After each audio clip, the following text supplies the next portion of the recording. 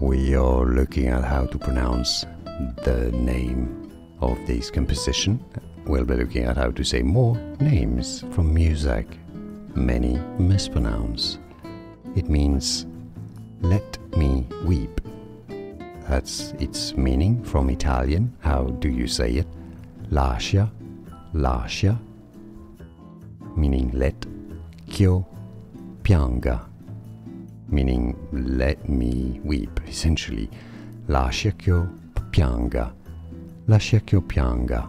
And now you know more videos for you here to learn more. Thanks for watching.